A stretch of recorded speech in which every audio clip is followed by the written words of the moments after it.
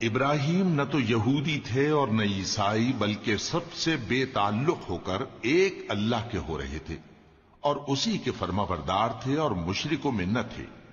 इब्राहिम से ज़्यादा कुर्ब रखने वाले तो वो लोग हैं जो उनकी पैरवी करते रहे और ये पैगंबर आखिरुजमा सल्लल्लाहु अलैहि वसल्लम और वो लोग जो ईमान लाए हैं।